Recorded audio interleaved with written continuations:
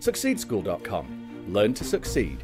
Terminal velocity. Terminal velocity is the maximum velocity a falling object can reach as friction, usually in the form of air resistance, opposes its weight. We can also get terminal velocity as an object falls through any fluid other than air, with lower terminal velocities for more viscous fluids such as water, but for the rest of this video, I'm going to describe terminal velocity in air.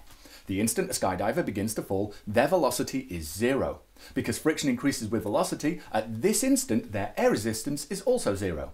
Throughout the fall, their weight, which is the downwards force acting upon them, won't change. As they accelerate towards the ground, their air resistance increases with velocity, reducing the resultant force upon them until the air resistance equals weight and the resultant force overall is zero.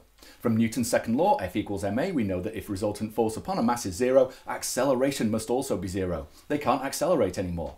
This is the fastest they can fall. This is their terminal velocity. When they open their parachute, they continue to fall, but now slow down due to greater air resistance until they reach a new, lower terminal velocity. To learn more about terminal velocity, please click this video. To watch the whole Lightning Physics playlist from the start, please click here, and click here to subscribe.